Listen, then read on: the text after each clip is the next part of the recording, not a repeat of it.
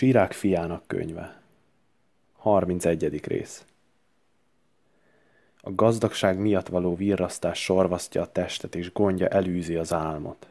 A megélhetés gondjai lekötik a figyelmet, és mint a súlyos betegség, ébren tartják a lelket. Fárad a gazdag a vagyon gyűjtésében, de pihenéskor saját javaiból töltekezik. Küszködik a szegény élelme fogytán, és a végén nyomorúságra jut. Nem marad bűn nélkül, aki szereti az aranyat, és aki romlást keres, betelik vele. Sokan estek el már az arany miatt, és lelték vesztüket a csillogása miatt. Botlás tuskója az arany azoknak, akik neki hódolnak, jaj azoknak, akik hajszolják, minden balga tönkre megy miatta.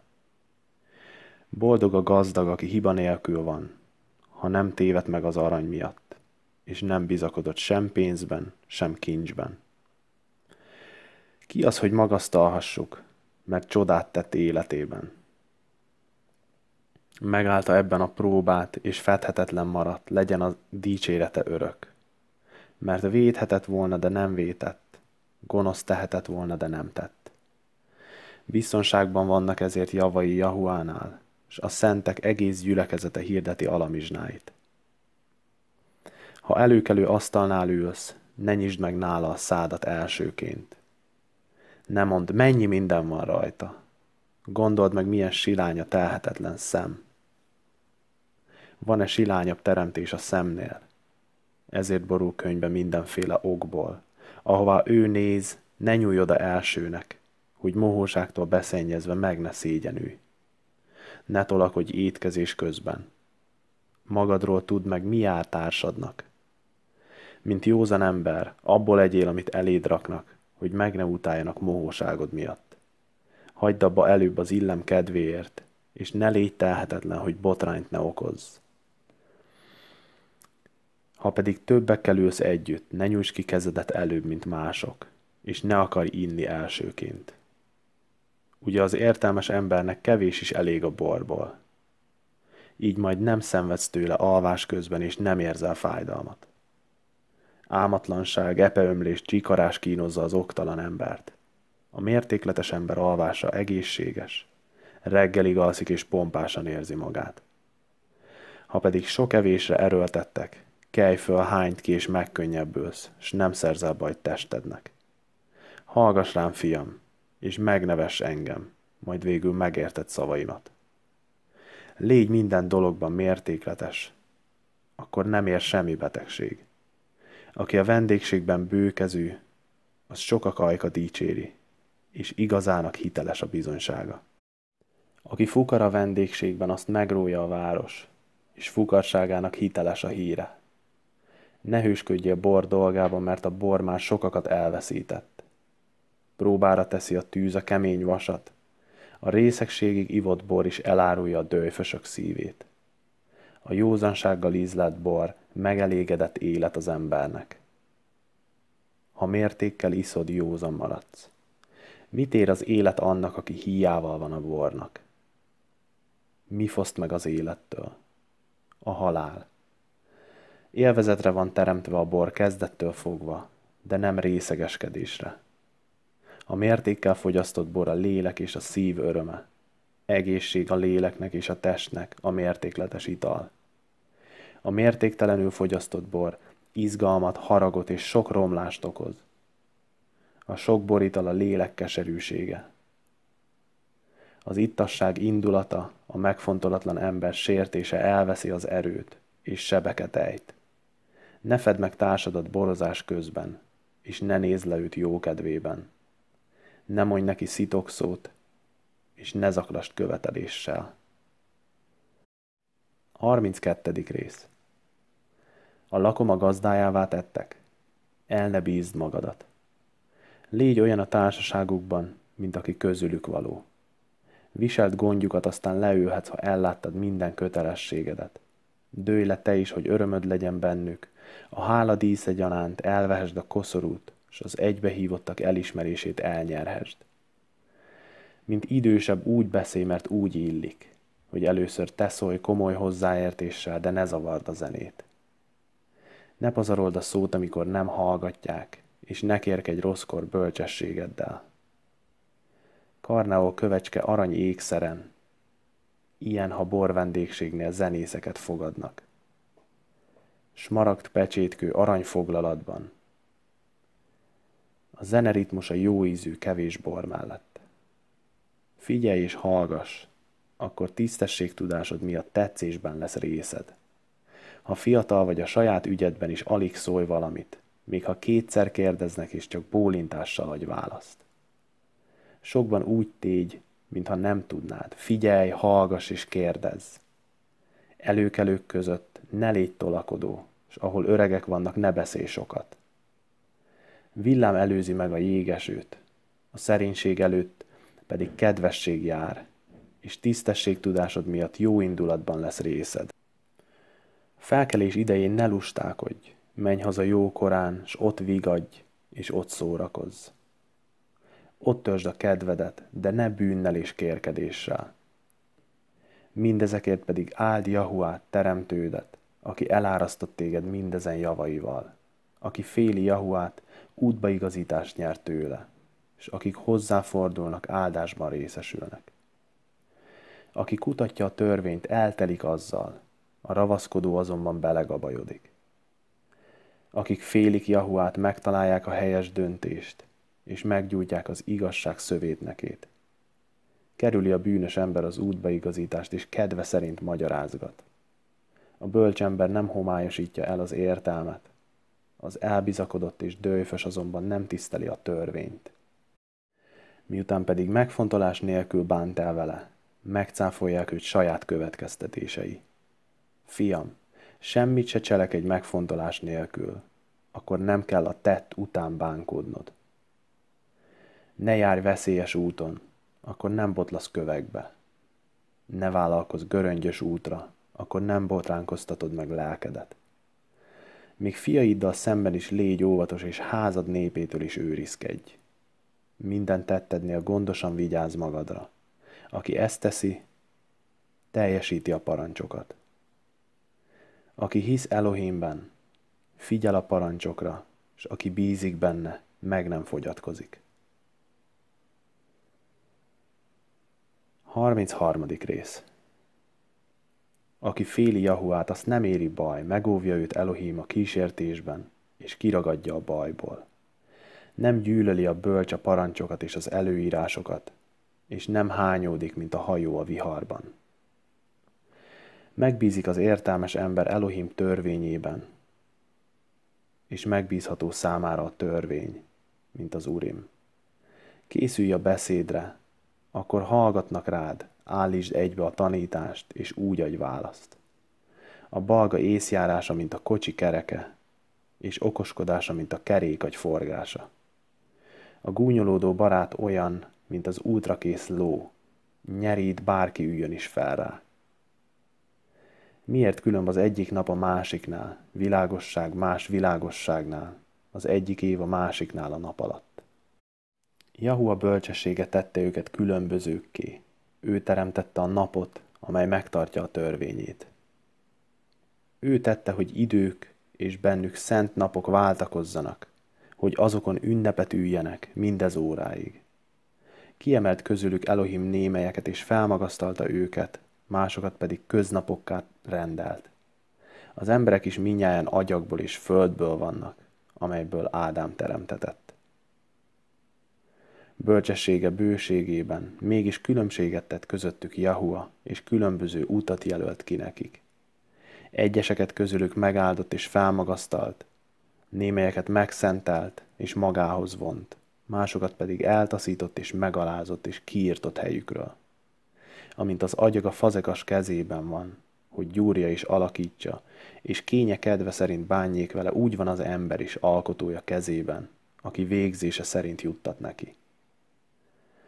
A rosszal jó áll szemben, és a halállal élet. Így áll a bűnös is az igaz férfival szemben. Ekként nézd a magasságbeli minden művét. Párosával vannak, az egyik a másik ellenében. Én pedig, mint utolsó serkentem fel, mint aki szüretelők után böngész szőlőszemet. Elohim áldásában bizakodtam én is, és megtöltöttem a prést, mint a szüretelő. Lássátok, hogy nem csak magamnak fáradoztam, hanem mindazok javára, akik okulást keresnek. Hallgassatok engem, főemberek és népek mind, és figyeljetek, közösség előjárói. Se gyermeknek, se feleségnek, se testvérnek, se jó barátnak ne adj hatalmat magad fölött életedben. Ne add másnak vagyonodat, hogy meg ne bánd, és könyörögnöd ne kelljen érte. Ameddig élsz és lélegzet van benned, ne enged, hogy más halandó lépjen helyedbe, mert illőbb, hogy gyermekeit kérjenek tőled, mint hogy telesd gyermekeit kezét. Minden cselekedetedben te maradj felül, és ne egy foltot tekintélyeden. Élted napjainak végén, kimúlásod idején oszd el örökségedet. Abrak, bot és teher kell a szamárnak, élelem, fenyítés és munka a rabszolgának. Fenyíték alatt dolgozik csak, mert nyugodni kíván. Engedj kezének pihenőt és szabadságot keres. Iga és gyeplő meghajtja a kemény nyakat, a rabszolgát pedig a folytonos munka hajlítja meg.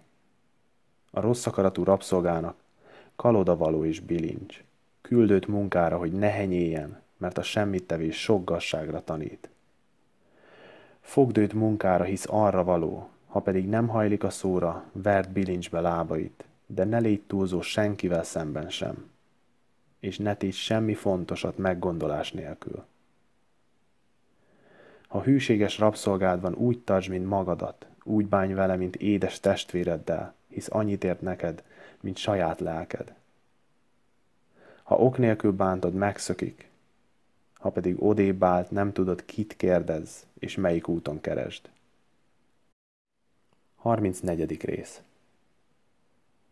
Hiú és hazug az oktalan ember reménye, és álmok szédítik meg a balgákat. Mint aki árnyék után kapkod és szelet kerget, olyan, aki hazug álmokra ad. Az egyik a másikkal szemben, ez az álomkép, emberi arc mása emberi arccal szemben.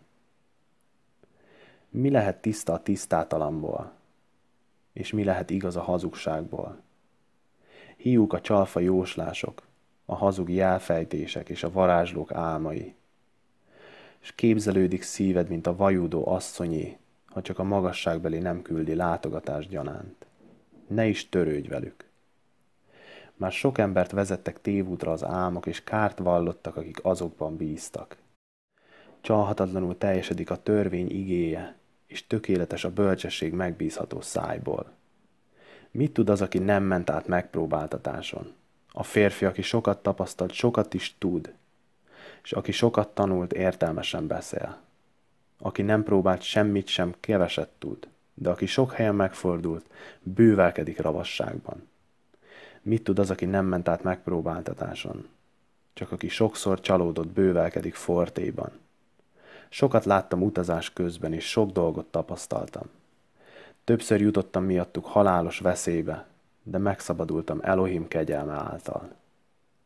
Becsben áll az Istenfélők lelke, és áldásban részesül, ha ő rájuk tekint.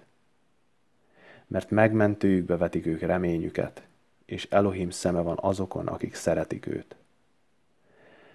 Aki Jahuát féli, semmitől sem retteg, és nem fél, hisz ő a reménye. Boldog annak lelke, aki Jahuát féli, ki másra hagyatkozzon, és ki legyen erőssége. Jahua szeme van azokon, akik félik őt, hiszen ő hatalmas, oltalmazó, szilárd erősség, menedék a forróság, árnyék a déli hő ellen. Védelem a botlás ellen és segítség a bukáskor. Felemeli a lelket és derűt ad a szemnek, egészséget ad, életet és áldást. Az igaztalamból áldozónak förtelmes az áldozata, és nem kedvesek a gonoszok gúnyolódásai. Jahua csak azokkal van, akik hívek hozzá az igazság és jámborság útján. Nem kellenek a magasságbelének a gonoszok adományai, és nem tekint az igaztalanok áldozataira. Nem bocsátja meg bűneiket áldozataik sokasága miatt. Mint aki fiút áldoz apja szeme láttára, olyan, aki szegénynek vagyonából áldoz. A szegényeknek szűkös a kenyere a megélhetéshez, aki az ilyet megcsalja vérembere. Aki megvonja a verítékkel érdemelt kenyeret, olyan, mint aki megöli társát. Mint aki vért ont, olyan, aki megcsalja a bérest. Épít az egyik, a másik lebontja. Mi marad nekik a fáradtságon kívül? Imádkozik az egyik, átkozódik a másik, vajon kinek szavát hallgatja meg Elohim? Aki tetem illetése után megfüldik, és újból érinti, mi haszna mosakodásának? Így van az az ember, aki bőjtől bűneiért, és újból elköveti őket. Mi haszna sanyargatásának? Ki hallgatja meg imáját? 35. rész Aki megtartja a törvényt, gyakran áldoz. Békáldozat, ha valaki ügyel a parancsokra, és távol tartja magát minden gonoszságtól. Védségért engesztelő áldozat és bocsánatkérés a bűnért, ha valaki jogsértéstől tartózkodik. Lisztlángot áldoz, aki szeretetet tanúsít, és hála áldozatot mutat be, aki alamizsnát osztogat. Jahuának tetsző adomány otthagyni a gonoszságot, és engesztelés a bűnökért tartózkodni a jogsértéstől. Ne jelenj meg Jahua szín előtt üres kézzel, mert Elohim parancsa miatt kell történni mindezeknek. Az igaz áldozata jutta zsíros húst az oltárra, és gyönyörűséges illat az a magasságbeli szín előtt. Kedves az igaz áldozata, meg nem feledkezik Jahu az ő emlékeztető áldozatáról. Jó lélekkel tiszteld Elohimet, és ne vonjál semmit kezed adományából. Minden adományodnál vidám legyen arcod, és örömmel ajánl fel tizedeidet. Úgy adja magasságbelinek, ahogy ő ad neked, ad jó lélekkel, amennyire kezedből telik. Mert Jahua megfizet, hét annyit ad neked helyette. Ne jöjj silány áldozattal, mert az nem kell neki, és ne várj semmit igaztalan áldozattal, mert Jahua igaz bíró, és nincs nála személyválogatás nem nézi Jahua a szemét a szegényel szemben, és meghallgatja az elnyomott esdeklését. Nem veti meg az árva könyörgését, de az özvegyét sem, ha kijönti panasz szavát. Nem, de az özvegynek könnyek peregnek arcán, és panaszt tesznek az ellen, aki fakasztotta őket. Arcáról ugyanis felszállnak az égbe, s Jahua, aki meghallgatja őket, nem leli kedvét bennük. Aki készséges lélekkel imádja Elohimet, elfogadásra talál, és könyörgése a felhőkig ér. A megalázkodó imádsága áthatol a felhőkön, és meg nem nyugszik, amíg oda nem jut, nem tágít, amíg a magasságbeli rá nem tekint.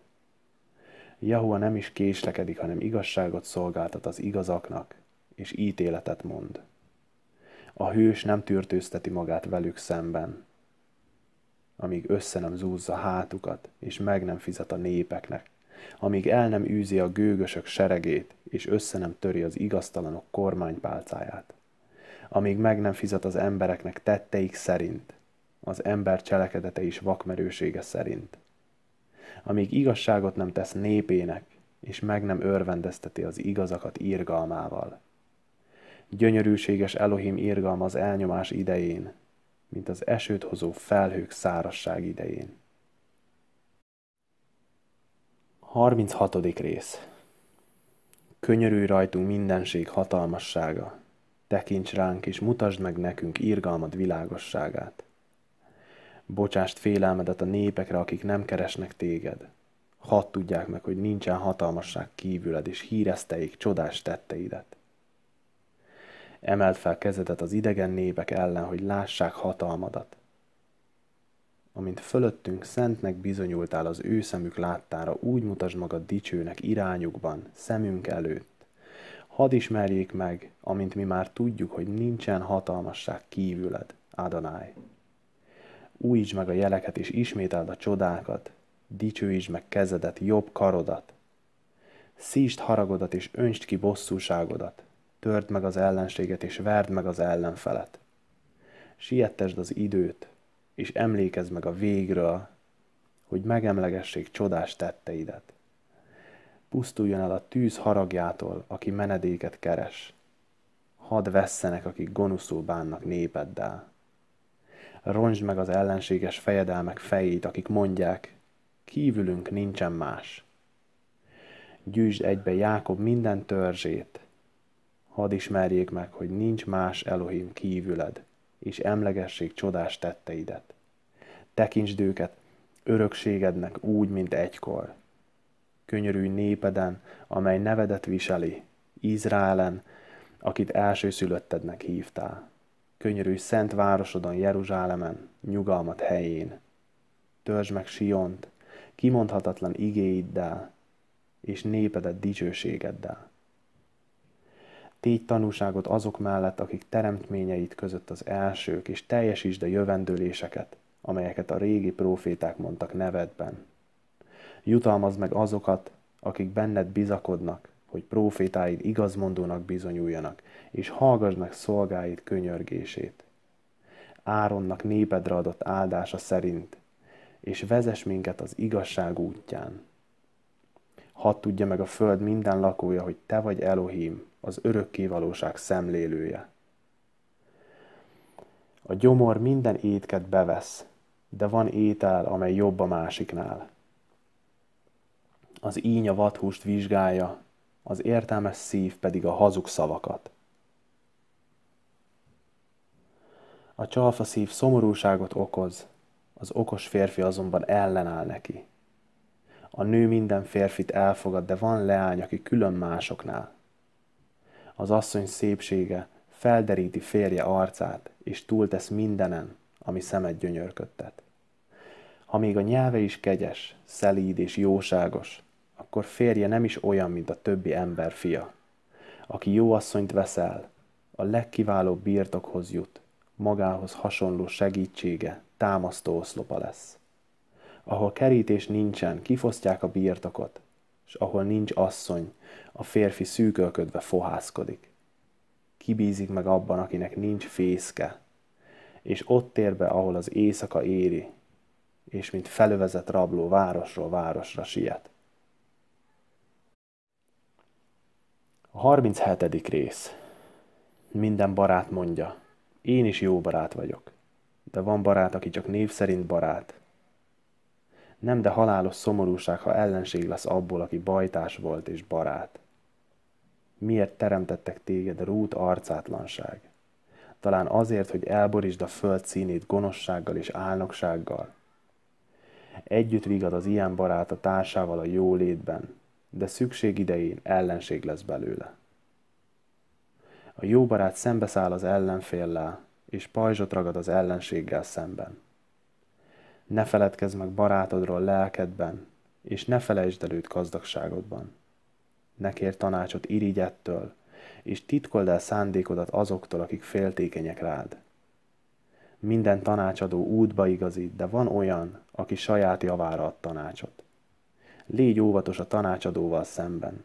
Tudd meg előbb, mire van szüksége, mert ő is magáról gondoskodik, hogy karót ne dugjon a földbe, és ne mondja neked, jó úton vagy, és azután odaálljon, hogy lássa, mi lesz veled.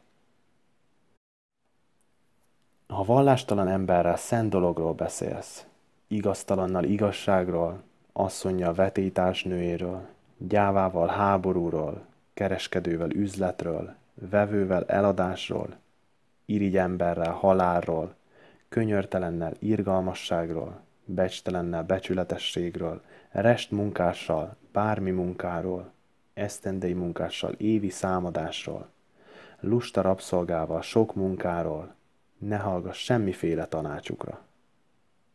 De kerest fel gyakran a jámbor embert, akiről tudod, hogy Elohim félelmében jár, aki lélekben hozzád hasonló, aki megsajnál, ha sötétben botorkálsz. De lelki ismereted jó tanácsára is ügyelj, mert semmi sem ér neked többet ennél. A jámbor embert egyébként a lelki ismerete néha eligazítja, mint hét őr, akik magas helyükön ülve kémlelnek. Mindezek mellett a magasságbelihez fordulj könyörgéssel, hogy igazságban vezérelje utadat. Helyes megfontolás előzze meg minden dolgodat, és szilárd elhatározás minden tettedet. A szív az elhatározás gyökere, Négy hajtás sarjadzik belőle, a jó és a rossz, az élet és a halál, és mindezeknek teljesen a nyelv az ura. Van olyan bölcs ember, aki sokak tanítómestere, de önmagának nincsen hasznára. Van olyan tudós férfi, aki sokakat tanít, és maga is hasznát látja. Van olyan, aki bölcsen beszél, de megvetik, és mindenben a rövidebbet húzza. Nem nyert Jahuától kegyet, ezért nem ér el semmit a bölcsessége. Van olyan bölcs, aki a maga javára bölcs, és tudása gyümölcsét dicsérik, és van olyan bölcs, aki népének tanítómester és tudásának gyümölcsei maradandó. A bölcs férfi eltelik áldással, és akik látják őt, boldognak mondják. Csekély számú nap az emberi élete, de Izrael napjait nem lehet megszámlálni. Aki bölcs a nép javára dicsőséget arat, és hírneve örökké él. Fiam, ameddig csak élsz, vigyázz magadra, és ha valami árt, ne engedd meg magadnak. Mert nem minden válik mindenki javára, és nem ízlik mindenkinek minden. Ne légy mohó semmilyen lakomán, és nevesd magad bármely étel után, mert a nagy étkűség betegséghez vezet, és a mohóságnak hasmenés a vége.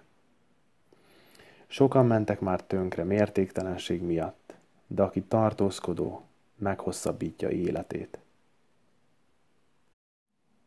38. rész Becsüld meg az orvos, mert szükség van rá, hiszen a magasságbeli rendelte őt. Elohimtől van az orvos minden bölcsessége, a királytól pedig ajándékban részesül. Az orvos tudománya felmagasztalja az ő fejét, és dicséretet nyer a főemberek előtt. A magasságbeli teremtette a földből az orvosságokat, és okos ember nem iszonyodik tőlük. Nem a fától lett édes a keserű víz, hogy az ember megismerje az ilyenek erejét. Tudást adott a magasságbeli az embereknek, hogy csodás erőivel dicsekedhessenek. Velük csillapítja az orvos a fájdalmat, és belőlük készít a gyógyszerész illatos kenetet, és állít elő gyógyító írt, hogy tönkre ne menjenek az ő alkotásai, és Elohim békéje legyen a földön. Fiam, ha beteg vagy, ne hagyd el magadat, hanem imádkozz Jahuához, és meggyógyít téged. Fordulj el a bűntől, légy igaz kezű, és tisztítsd meg szívedet minden vétektől. Ajánj fel tömjént és lisztlángot emlékeztetőül, mutasd be kövér áldozatot, de orvost is engedj magadhoz, hisz Jahua rendelte őt. El ne távozzon mellőled, mert szükség van fáradozására. Mert van idő, amikor kezükre kell magadat bíznod, és ők is könyörögnek Jahuához, hogy enyhülést és egészséget adjon az ő működésük által. Aki védkezik alkotója színe előtt orvos kezére kerül. Oncs fiam könnyeket a halottért, és sirasd, mert nagy veszteség ért téged. Hantold el testét, annak rendje szerint, és ne hanyagold el temetését. Sirasd őt keservesen egy napig, hogy meg ne szóljanak, azután vigasztalódj meg, és ne szomorkodj. Sirasd egy-két napig érdeme szerint, a megszólás miatt. Mert a szomorúság sietteti a halált, elernyezti az erőt, és a szívbeli fájdalom meghajlítja a nyakat. Miután kivitték, vonuljon el a szomorúság is. A nyomorgó élete átok a szívnek. Ne add át szívedet a búbánatnak, üzd el azt magadtól, és emlékezz meg a végről. El ne feled, hogy úgy sincs visszatérés, neki már mit sem használsz, magadnak pedig csak ártasz. Elmélkedj inkább sorsáról, mert a tied is olyan lesz tegnap nekem, ma neked. A halott nyugtával hagy nyugodni emlékezetét, vigasztalódj fölötte, amikor lelke már elköltözött. Szabad idejének köszöni bölcsességét az írás tudó, akinek kevés a dolga, azt tehet szert bölcsességre. Hogyan is telhet el bölcsességgel, aki az ekét fogja, aki hajítófával büszkélkedik, ösztökével hajtja a marhát, és annak dolgában jár kell, akinek borjú körül forog a beszéde. Barázdák boronálásán jár az esze, és tehenek hízlalása a gondja. De így van minden kézműves és mester is, aki éjjelét nappallá teszi, aki pecsétet vés, akinek a színek keverése a mestersége, aki színes ábrázoláson töri a fejét, és virrasztva végzi munkáját. Épp így a kovács, aki üllő mellett ül, és a vasmunkára ügyel, a tűz heve pörköli bőrét, és a kemence hőségét állja. Pöröly csapása cseng szüntelen fülében, és a szerszám mintájára szegezi szemét. Munkái végzésén jártatja az eszét, és azok tökéletes elvégzése a gondja. Nincs másképp a fazekassal sem. Ül a dolga mellett, és a korongot hajtja lábával, folytonos gondban van munkája miatt, és darabszámra dolgozik teljes igyekezettel. Agyagot gyúr karjával, és lába előtt meghajlítja merevségét. A máz elkészítésére ügyel, s a kemence tisztításán jár az esze. Kezük munkájából élnek mindezek, és mindegyikük bölcs a maga mesterségében. Nélkülük nem épül város. Nem jövevények ők, és nem jött mentek, de azért nincs a gyülekezetben ülőhelyük. Nem ülnek bírói székbe, mert nem értenek a törvénykezéshez. Nem ők mondják meg, mi a jog és mi az igazság, nincs jártasságuk a bölcs mondásokban.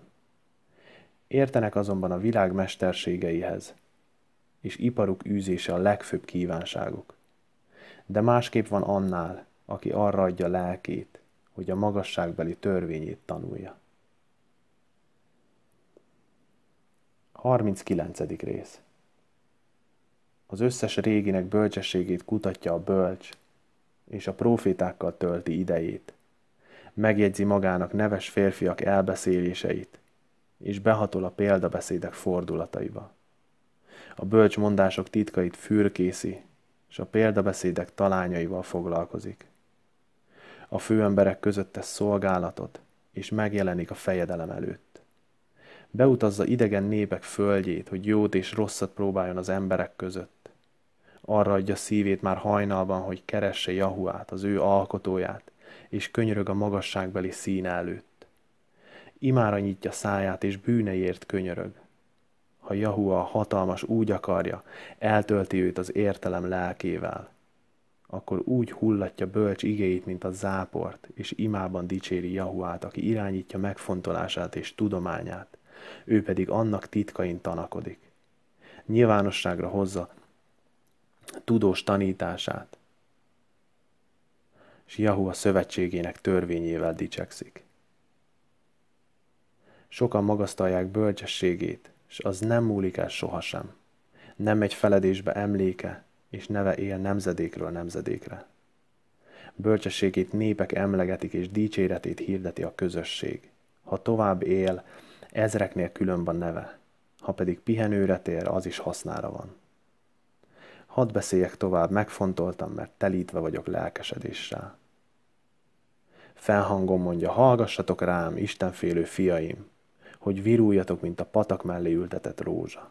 Édes lesz illatotok, mint a libanoné, és virágoztok, mint a lilium, illatot árasztotok, és levéldíszbe öltöztök. Zengjetek dalt, és áldjátok Jahuát műveiért. Adjátok meg nevének a tiszteletet, és dicsérjétek őt ajkaitok szavával ajkatok dallamával, lancszóval és magasztalva ekként szóljatok. Nagyon jó Jahua minden műve, és a maga idejében meg lesz minden, amit parancsolt. Ne kérdezze senki, mi ez, vagy mire jó az, mert mindennek megvan a rendeltetése. Szavára megállt a víz, mint a töltés, szája igéjére, mint a vízmedence. Mert akaratának kívánsága teljesül, és ahol ő segít, ott nincsen akadály minden élőlény műve nyilvánvaló előtte, és semmi sem lesz elrejtve szín elől. Átfogja tekintetével az örökké valóságot, és semmi sem csodás a szín előtt. Nem lehet azt mondani, mire jó ez, meg az, mert mindenre szükség van a maga idejében. Áldása kiárad, mint a folyam, és megitatja a szárazföldet, mint az áradás. Így üzte haragja a népeket, amelyek nem keresték őt. Így változtatott vizet szárassággá, úgy, hogy a föld kiszáradt. Így egyengetett útat átvonulásokhoz, a bűnösöknek pedig gáncsot vetett haragjában. Jót teremtett a jóknak kezdettől fogva, épp így jót és rosszat a gonoszoknak. Az ember életének fő szükségletei, víz és tűz, vas meg só, tej, búzakenyér, méz, a szőlőfürtje, olaj és ruha. Mindez a jámborok javára szolgál, de a gonoszok és a bűnösök ártalmára válik. Vannak szellemek, amelyeket megtorlásra teremtett, és ezek dühöngésükkel súlyosbítják kínjaikat. A vég idején kiadják erejüket, és lecsillapítják alkotójuk haragját. Tűz és jégeső, éjség és döghalál, mindezeket bosszúállásra teremtették. A ragadozók fogai, a skorpiók, a kígyók és a bosszú pallosa az istentelenek kiírtásáért vannak. Ha parancsot ad nekik, újonganak, szükség esetére készen állnak a földön, és nem késnek szót fogadni kellő időben. Ezért kezdettől fogva meg győződve, meghánytam, vetettem, s írásba is foglaltam. Jók Jahua művei mindegy szálig, és minden szükségletről idejében gondoskodik. Nem lehet azt mondani, ez rosszabb Amannál, mert mindegyik beválik a maga idejében. Most tehát teljes szívvel és szájjal dicsérjétek és áldjátok Jahua nevét. 40. rész Nagy vesződtség jutott minden embernek, és súlyos iga Ádám fiainak.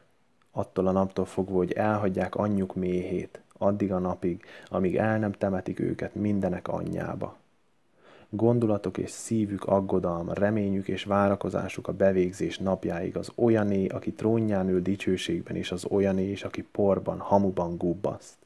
Azé, aki bíbort és koronát visel, és az olyané is, aki durva darócba öltözik. Nem egyéb, mint harag, féltékenység, gond és habozás, a halál félelme, folytonos viszály és civakodás amikor pedig ágyán megpihen, éjjeli álom zavarja gondolatait, alig, hogy egy múló pillanatra nyugalmat talál, már is rémképekkel küszködik. Megzavarodik lelke látomásától, mintha háború napján menekülnie kellene, és amikor megmenekül, felébred és csodálkozik, hogy nincs mitől félnie.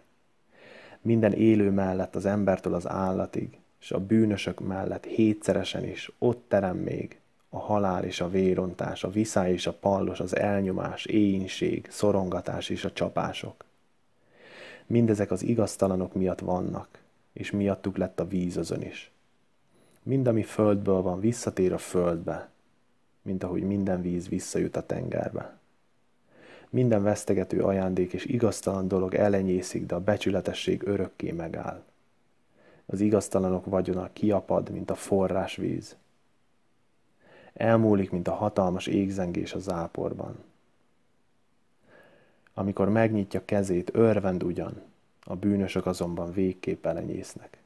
A gonoszok sarjának nem sok a hajtása, mert a tisztátalanok gyökerei szírt fokán zörögnek. Minden víz mellett növényzet zöldel, de a folyó partján lévő előbb sodródik el, mint a többi fű. A szeretet azonban olyan, mint az áldott paradicsom, és a jótékonyság örökre megmarad. Édes a béres élete, ha beéri a magáéval, és kincset találsz benne. A fiak és a városalapítás fenntartják a nevet, de mindezeknél többet ér a kifogástalan asszony. A bor és a zene felvidítja a szívet, de mind a kettőn túltesz a bölcsesség szeretete. A fuvola és a lant kellemessé teszik a dalt, de mindkettőn túltesz a nyájas nyelv. A szépség és a báj kívánatos a szemednek, de túltesz rajtuk a zöld vetés. Jó, ha van barát és társa maga idejében, de mindkettőnél többet ér az asszony a férje mellett. A testvérek segítségül vannak a szükség idején, de ezeknél is inkább megment az írgalmasság. Az arany és az ezüst támasza a lábnak, de mindkettőnél többet ér a jó tanács. A gazdagság és a hatalom felemelik a szívet, de mindkettőn túl tesz Jahua félelme.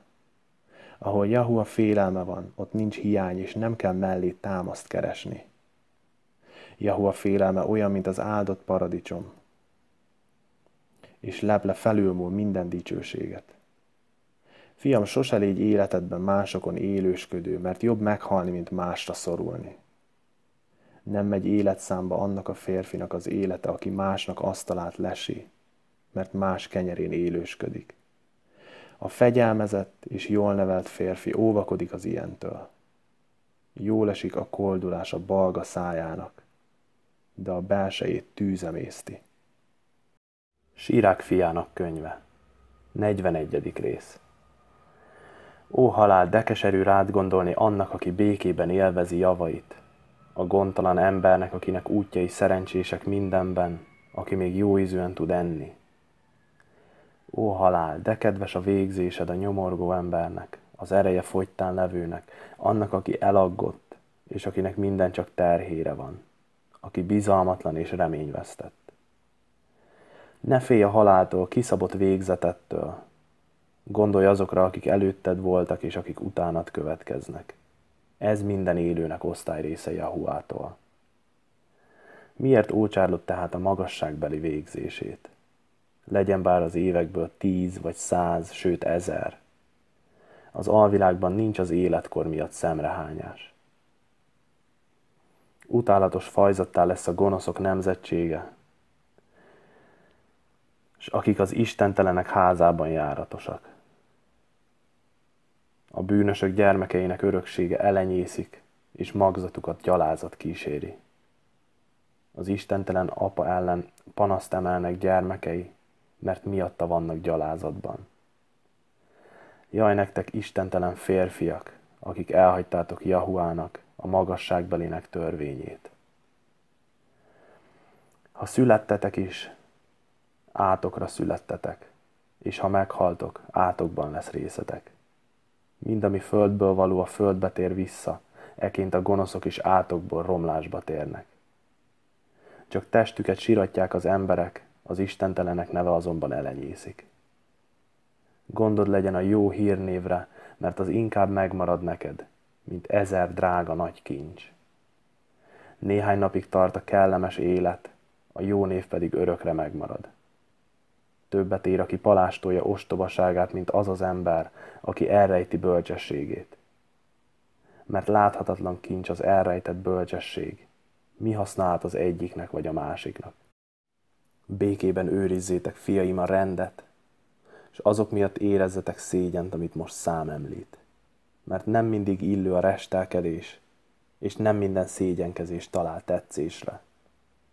Resteld a paráznaságot apád és anyád előtt, a hazugságot fejedelem és hatalmas előtt, a védséget bíró és előjáró előtt, a törvényszegést, a közösség és a nép előtt, az igazságtalanságot társad és barátod előtt, szállóhelyeden a lopást, a megfeledkezést az Elohimre tett esküről és szerződésről, a könyökölést étkezéskor, az adott és vett jó becsmérlését a hallgatást, ha köszöntenek, parázna nőre tekintést, az arc elfordítását rokontól, arcod elfordítását társattól, az illetmény elvevését és meg nem térítését, a szemed jártatását más férfi feleségén, a leskelődés szolgálója után és ágyának megközelítését, a becsmérlő szavakat barátaid előtt, és a szemrehányást, amikor adakozol.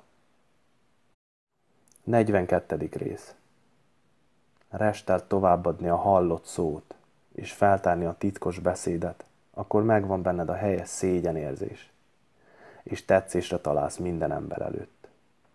De kicsit se szégyeld a következőket, és senki kedvéért ne vétkezzél. A magasságbeli törvényét és rendelkezését, az igazságot, hogy felmentsd a gonoszt, az elszámolást társakkal és utasokkal, az osztozkodást barátaiddal az örökségen, a pontosságot mérlegben és súlyban, a keresetet, legyen az sok vagy kevés.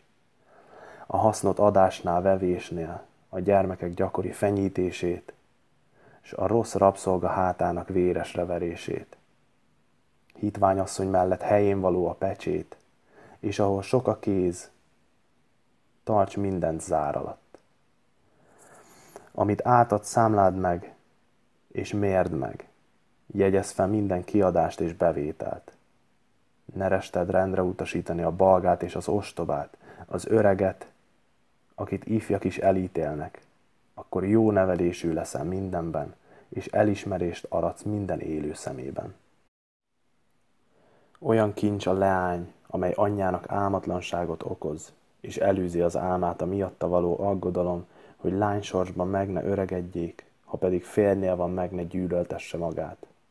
Hogy meg ne rontsák szűzességében és teherbe ne essen az apai házban, hogy félre ne lépjen férjes állapotban és magtalan sem maradjon. A könnyelmű lányt őrizd gondosan, hogy szégyenbe ne hozzon az ellenségek előtt a város megszólása és a nép szóbeszéde miatt, és gyalázatodra ne legyen a nép sokasága előtt.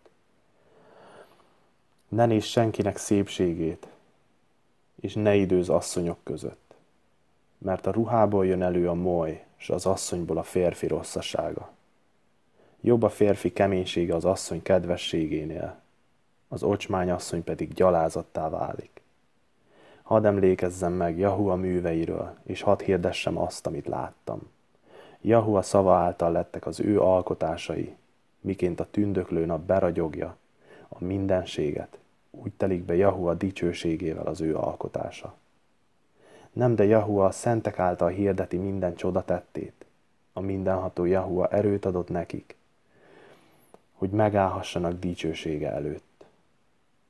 Kifürkészi a tenger mélységét és az emberek szívét, átlát az ő furfangjukon, mert Jahua minden tudás birtokában van, és látja az idők jelét, tudtul adja a múltat és a jövendőt, és fölfedi a titkok leplét. Egy gondolat sem kerüli el figyelmét, és egy szó sincs rejtve előtte. Ékesítette bölcsessége remek műveit, aki öröktől fogva örökké van. Nincs ahhoz sem hozzátenni, sem attól elvenni való, és nem szorul ő senki tanácsára.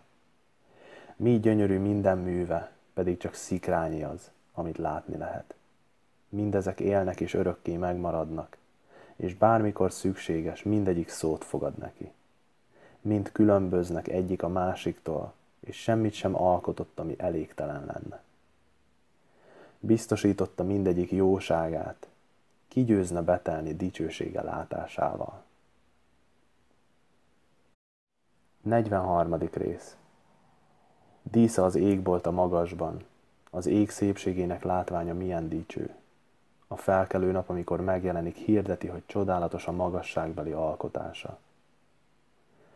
Perzseli délben a földet, ki tudja hőségét elviselni.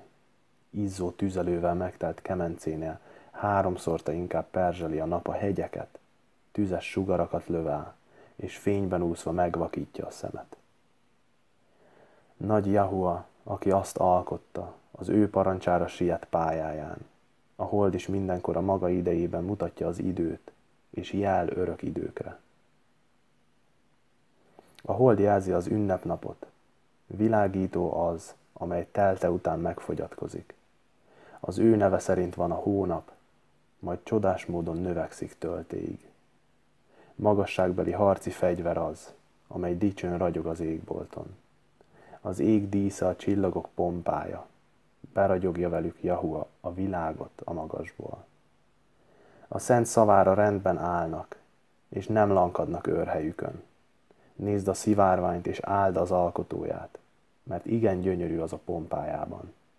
Átfogja az eget nagyszerű ívével, a magasságbeli keze feszítette ki. Parancsa által sietteti a havat, és szaporán küldi el ítélete villámait. Ezért nyílnak meg a tárházak, és repülnek ki a felhők, mint a madarak. Fölségében helyezte el a felhőket, és tördeli össze a jégeső szemeit. Megrendülnek a hegyek tekintetétől, és akarata szerint fúj a déli szél. Mennydörgésének szava felriasztja a földet, és az északi vihar a szelek összecsapása. Elhinti a havat, mint a pihenni szálló madarakat, és az leereszkedik, mint a szállós áska. Csodálja a szem fehér színének szépségét, és elámul a szív a hullásától, mint a sót úgy hinti a zúzmarát a földre. És amikor megfagyott, olyan az, mint a bojtorján tüskéi. Fúj a hideg északi szél, mire kristályá fagy a víz színe. Bevon minden állóvizet, és mint egy páncéllal borítja a tavat. Elemészti a hegyeket, és megperzseli a pusztát, és mint a tűz elégeti a zöldet. Gyógyulás mindenre, a felhők csepegése, a hulló harmat, amely felüdíti azt, ami elszikkadt. Szavára elszáll a szél, akaratával csendesítette le a világtengert, és helyezte el benne Jahua szigeteket.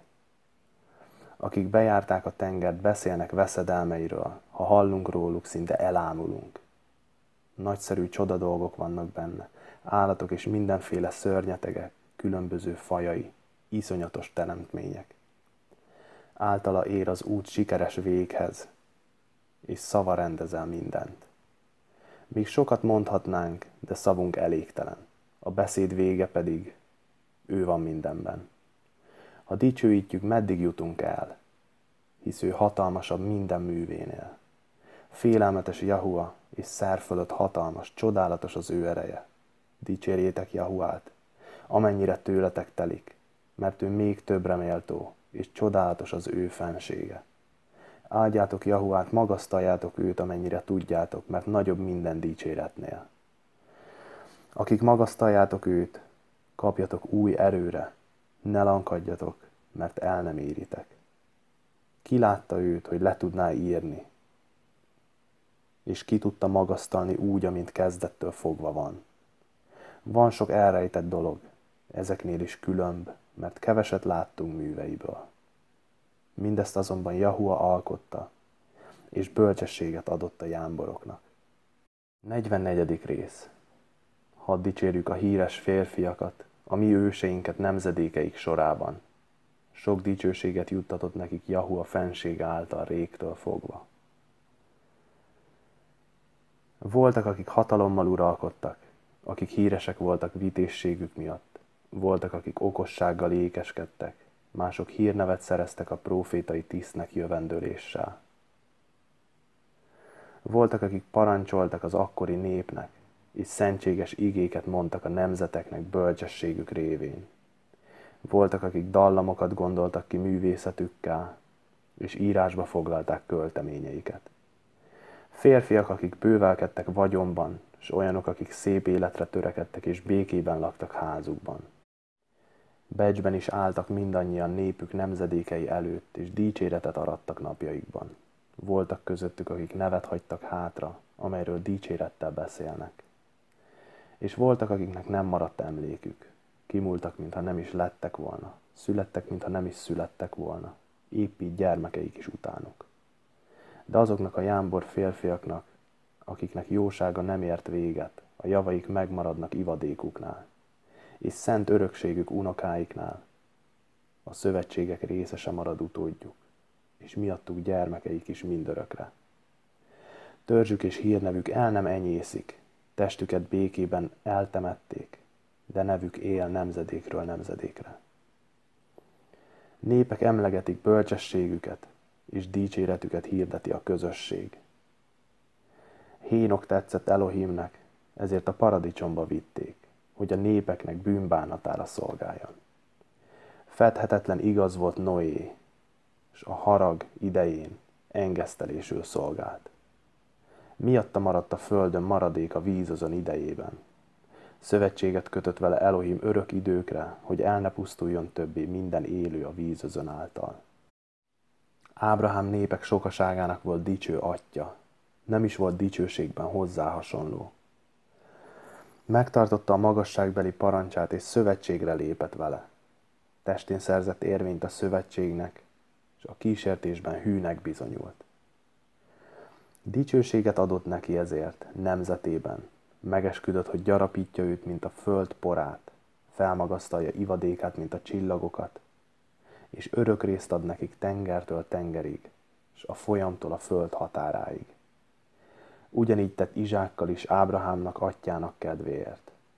Az összes elődjével kötött szövetségeket átadta neki, és az áldás Jákob fején nyugodott. Elismerte őt áldásai által, és megadta neki örök részét, ő pedig elosztotta részét a tizenkét törzs között, és belőle támasztotta azt a jámbor férfit, aki kegyet talált minden élő szemében. 45. rész Kedves volt Elohim és emberek előtt Mózes, akinek áldva legyen emléke. Hasonlóvá tette őt dicsőségben a szentekhez, és nagyjá az ellenségek megfélemlítésében. Bősz állatokat szelidített meg szavával.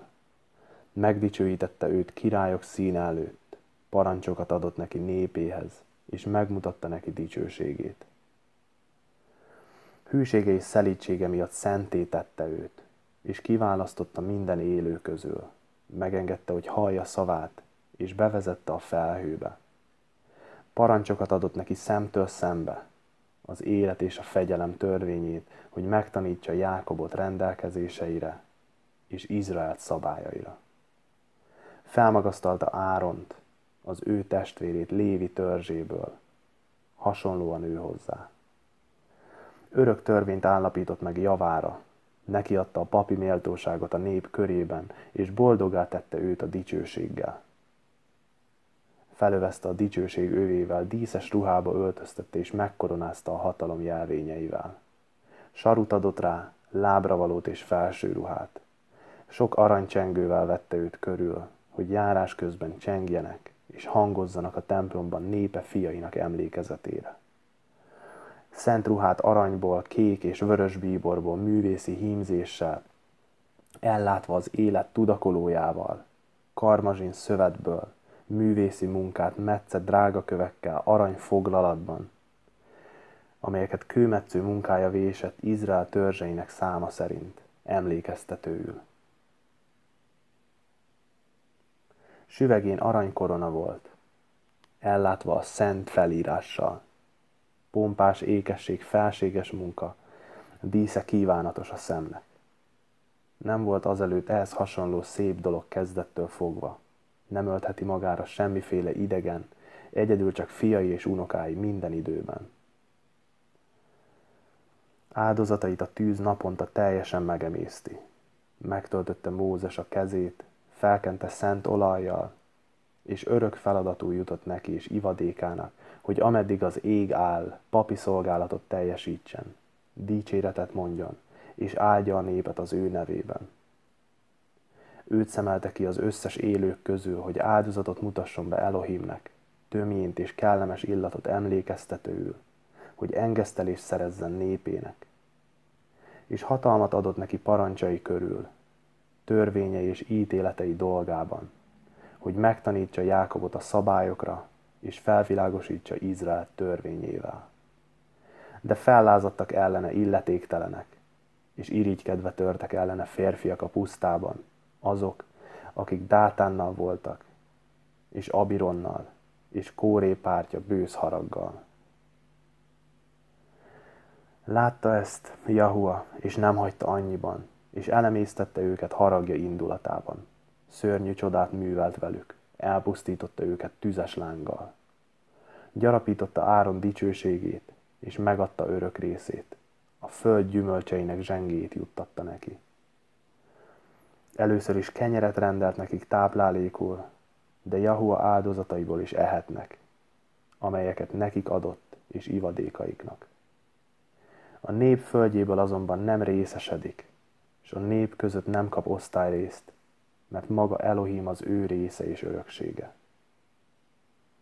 Finesz, Eleazár fia harmadik lett a tisztségben, mert Jahua félelmében a nyomdokába lépett. Helytált a nép becsületéért, jámborságával és lelke készségével engesztelést szerzett Izraelnek Elohimnál.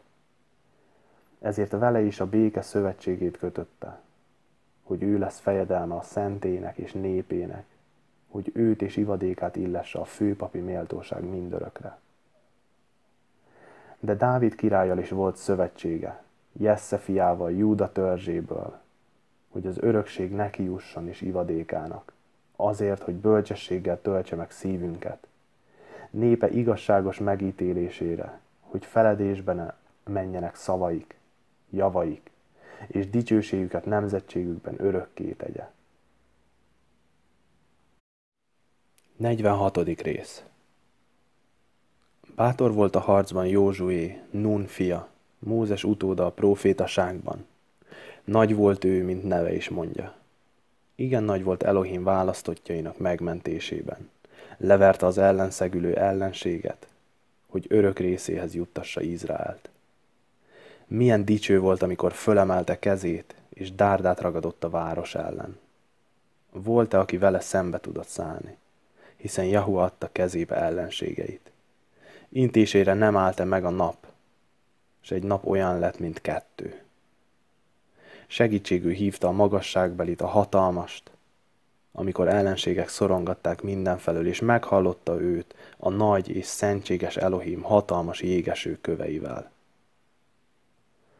Az ellenséges népre zúdította azt, és tönkreverte a lejtőn az ellenségeket. Hadd tudják a népek, milyen hatalmas ő, hogy nem könnyű Elohimmel harcolni. Ő pedig híven követte a hatalmast, jámborságot tanúsított már Mózes napjaiban. Ő is Káleb, Jefóne fia, amikor álhatatosak voltak az ellenséggel szemben. Visszatartották a népet a bűntől, és elhallgattatták a gonosz zúgolódást. Ezért kettőjüket szemelte ki Elohim, hogy megkímélje őket a 600 ezer gyalogosra váró veszedelemtől, és elvezesse őket örök részükbe, a teljel mézzel folyó földre. Erőt adott ezért Jahua Kálebnek, és megmaradt benne az erő öregségéig, hogy megszállja a magas földet, utóda is megtartotta az örök részt. Hadd lássák Izrael fiai meg annyian, milyen jó a szentséges Elohimet híven követni. A bírák is név szerint mindazok, akiknek szíve meg nem romlott, és akik el nem fordultak Jahuától, legyen áldott az emlékük, és sarjadjanak ki csontjaik a helyükről. Maradjon meg nevük örökre, maradjon fönn fiaik számára a szent férfiak dicsősége. Az úmak hatalmasságának kedveltje Sámuel, Jahua profétája felállította a királyságot, és fejedelmeket kent fel népében. Igazságot tett a gyülekezetben Jahua törvénye szerint, és Elohim meglátogatta Jákobot. Megbízható profétának bizonyult, hűnek bizonyult igéiben, mert látta a világosság hatalmasságát. Ő is kiáltotta mindenható Jahuához, amikor az ellenségek mindenfelől körülvették és szorongatták. Ő bemutatta a hibátlan bárány áldozatát. Jahua pedig mennydörgött az égből.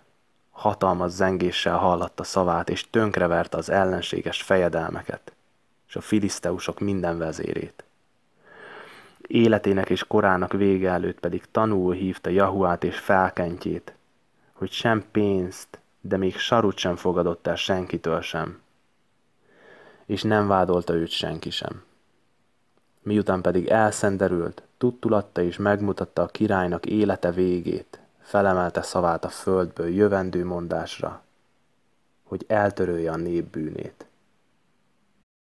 47. rész Nátán proféta jött ezek után Dávid napjaiban, mert amint a hájat elválasztják a hústól, úgy Dávid is kiválóbb volt Izrael fiainál. Oroszlánokkal úgy játszott, mint bárányokkal, és medvékkel úgy bánt, mint a juhok kis bárányaival. Már ifjú korában megölte az óriást, és elvette népéről a gyalázatot, amikor felemelte kezét, és a paritja kövével leütötte a gőgös góliátot. Mert segítségű hívta Jahuát a mindenhatót, aki erőt adott jobbjának, hogy leterítse a bátor harcos férfit, és felmagasztalja népe szavát. Dicsővé tette őt ekként tízezer között, és magasztossá tette Jahua áldásaival, azzal, hogy felajánlotta neki a dicső koronát, és letiporta az ellenségeket körös körül, kiirtotta az ellenséges filiszteusokat, mind a mai napig, és letörte szarvukat örökre. Minden tette után magasztalás zengett a szentnek és magasságbelinek dicsőítő szavakkal. Teljes szívéből dicsérte Jahuát, szerette Elohimet, aki őt alkotta, és erőt adott neki az ellenséggel szemben. Énekeseket állított fel az oltár előtt, és kellemes dallamokat énekeltetett velük.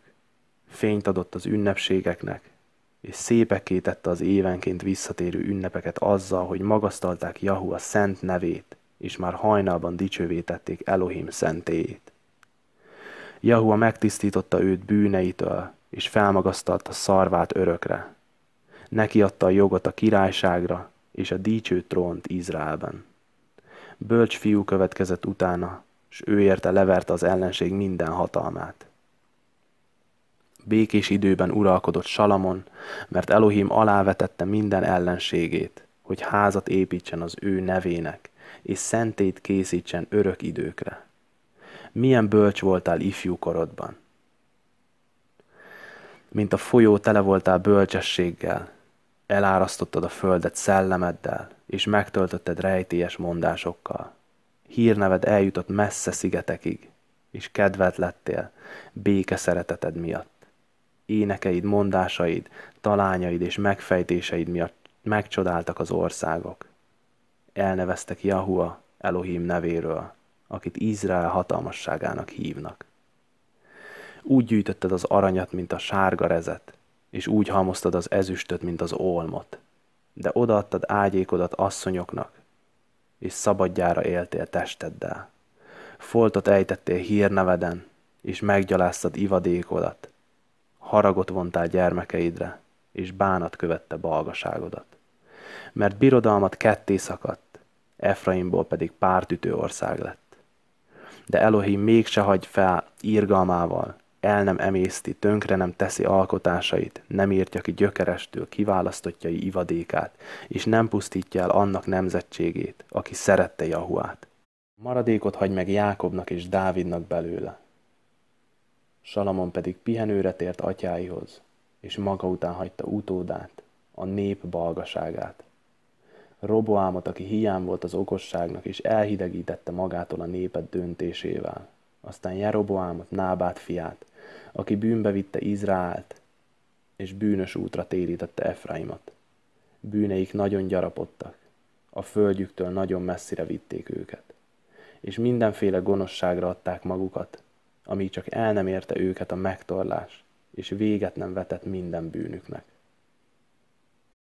48. rész Illés próféta jött ezután. Tűzhöz volt hasonló, a szava lángolt, mint a fákja. Énséget hozott rájuk, és megfogyatkozott a száma azoknak, akik gonosz akarattal bosszantották, és nem tudták szívlelni Jahua parancsait. Jahua szavával elzárta az eget, és három ízben tüzet hozott le az égből. Ilyen dicső volt Illés a csodáival, ki is dicsekedhetne hozzá hasonlóan, aki felhoztál, megholtat az alvilágból, a halál sorsából, Jahua igéje által, aki romlásba döntöttél királyokat, játszva megtörtett hatalmukat, és sírba taszítottál ágyukról dicsőségeseket. Aki ítéletről értesültél Sínái hegyén, és megtorló büntetésekről a Hóreben, aki királyokat kentél fel megtorlásra, és profétát tettél meg utódodnak. Aki felvitettél tüzes forgószélben, tüzes ló húzta kocsin, akiről megvan írva, hogy az ítélet idején csillapítod Jahu a haragját. Kiengeszteled az apa szívét fiával, és helyreállítod Jákob törzseit. Boldogok, akik meglátnak téged, és barátságoddal dicsekednek. Mert mi élünk ugyan életünkben, de halálunk után ilyen nevünk nem lesz. Miután Illést a forgószél elrejtette, Elizeus telt el szellemével, nem félt fejedelemtől életében, és senki sem múlt a felül hatalomban. Semmi sem volt számára lehetetlen, sőt, még holttestében is profétai erő lakozott. Csodákat vitt véghez életében, és bámulatos dolgokat művelt halálában. Mindamellett mégsem tért meg a nép, és nem hagytak fel bűneikkel, amíg csak el nem űzték őket országukból, és el nem szélettek az egész földön. De megmaradt azért egy parányi nép és fejedelem Dávid házában, voltak köztük, akik azt tették, amit tetszett Elohimnak, mások ellenben sokat védkeztek. Hiszkia megerősítette városát, vizet vezetett belsejébe, megfurta a sziklát vassal, és vízgyűjtőt épített. Napjaiban vonult fel Sanherib, és elküldte Rábsakét, felemelte kezét ellenük, kinyújtotta kezét Sion ellen, és elbízta magát hatalmában. Megrendült ekkor szívük és kezük, és gyötrődtek, mint a vajudó asszony. Hívták Jahuát az írgalmast, kiterjesztették kezüket, és ég felé emelték, és a szentséges Jahua, Elohim csak hamar meghallgatta szavukat. Nem gondolt bűneikre, és nem adta át őket ellenségeiknek, hanem megmentette őket Izajás, a szent próféta keze által. Megverte az asszírok táborát, tönkretette őket Jahua angyala. Mert azt tette Hiszkia, ami Elohimnek kedves, és álhatatosan járt őse Dávid útján, mint meghagyta neki Izajás, a nagy és Elohim színe előtt hűséges próféta. Az ő napjaiban ment hátrafelé a nap, és ő meghosszabbította a király életét. Nagy lélekkel meglátta a végső dolgokat, és vigasztalta Sionban a gyászolókat. Örök időkre megmutatta a jövendőt, és a rejtett dolgokat, mielőtt meglennének. 49. rész Józia emléke, mint az illatos tömjén keveréke, amely illatszerkészítők kezeműve.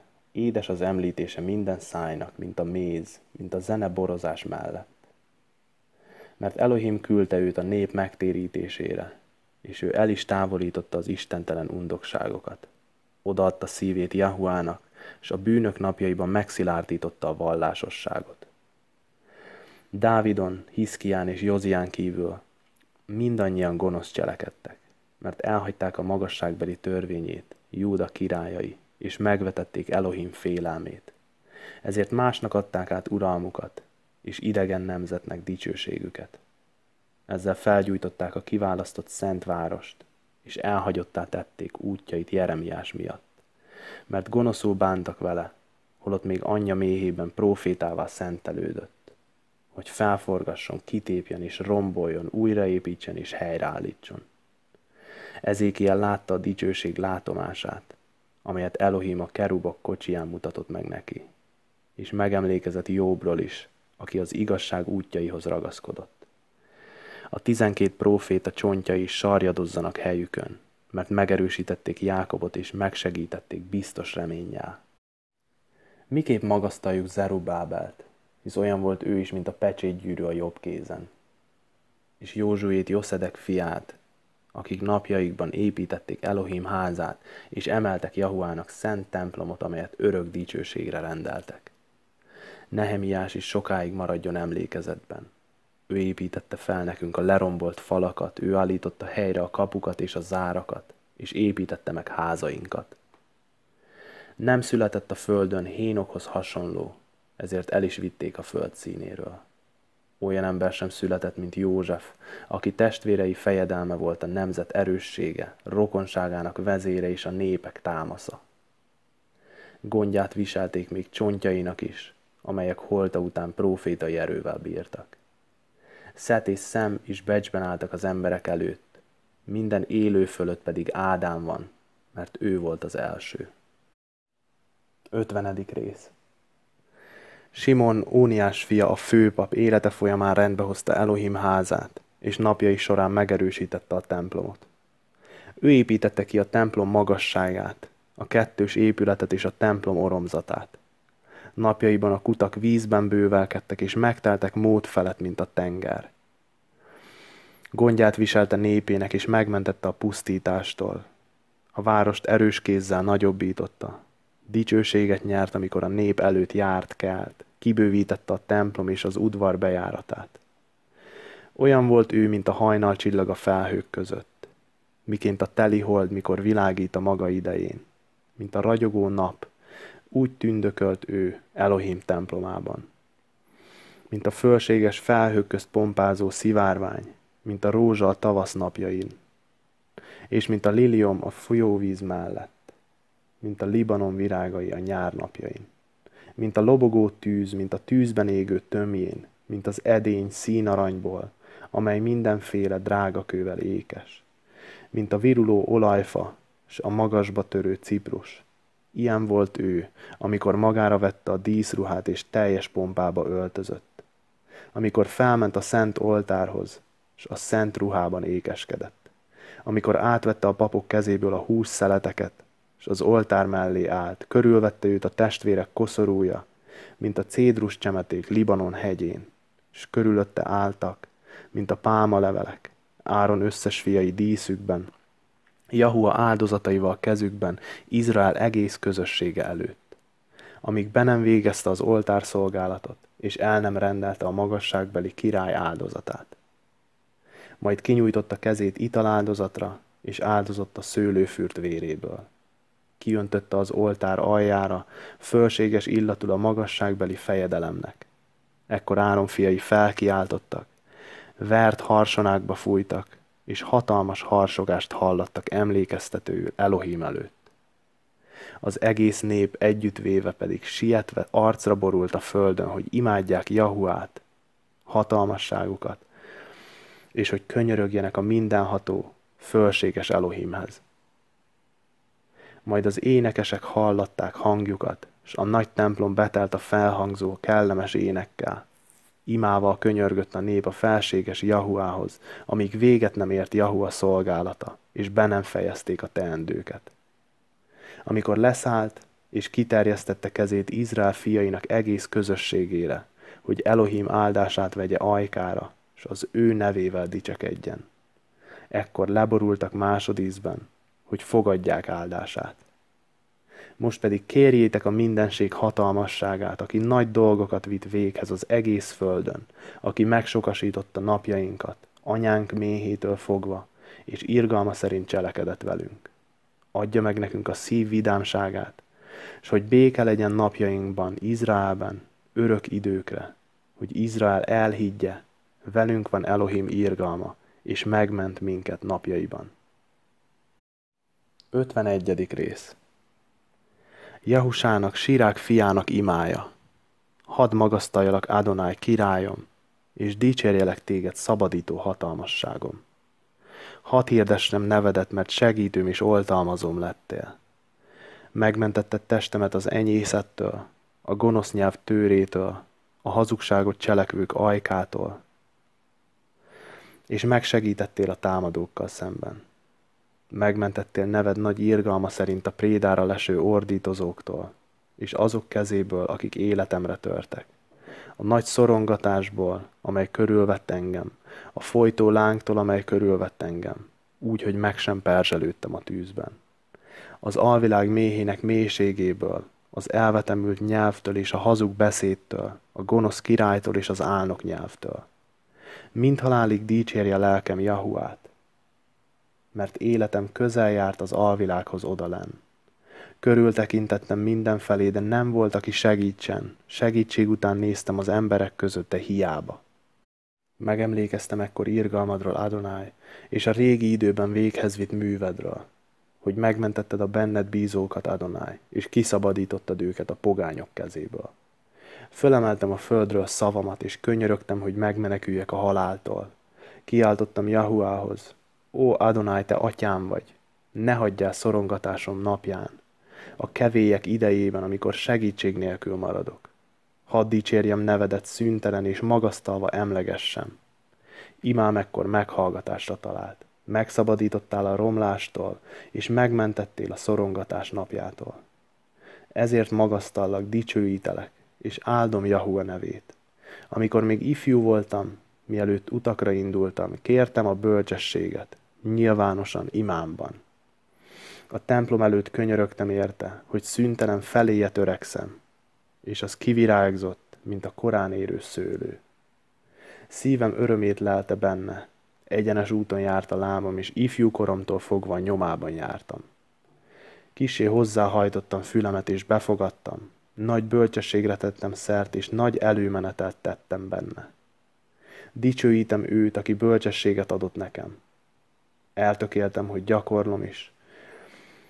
Buzgolkodtam a jóban, és nem vallok szégyent. Küszködött érte a lelkem, és amikor gyakoroltam, megerősödtem. A magasba emeltem kezemet, és sírattam annak nem tudását. Feléje irányítottam lelkemet, és megleltem, amikor megismertem. Általa nyertem értelmességet kezdettől fogva, ezért nem is akarom elhagyni. Égett a bensőm, hogy keressem, azért el is nyertem, mint értékes vagyont. Nyelvet adott nekem Jahua jutalmul, dicsérni is kívánom őt vele. Gyertek hozzám ti, akik a tudás híján vagytok, gyülekezzetek iskolámba. Miért késelekedtek még? Mi a kifogásotok? Hiszen lelketek szomjazik nagyon. Megnyitottam számat és mondtam, szerezzetek magatoknak bölcsességet ingyen, hajtsátok nyakatokat igája alá, és fogadja be lelketek az intelmet, mert közel van annak megtalálása. Lássátok saját szemetekkel, hogy bár keveset fáradtam, mégis bőséges megnyugvást találtam magamnak. Fogadjátok be tanításomat minél többen, mert ezüstöt, bőséges aranyat szereztek vele. Örvendjen lelketek az ő irgalmasságának, és ne szégyeljétek az ő dicséretét. Végezzétek el dolgotokat még idő előtt, akkor megadja jutalmatokat idejében. Remélem hasznosnak találtátok a videót, mindenkinek a legjobbakat, shalom és hallelujah!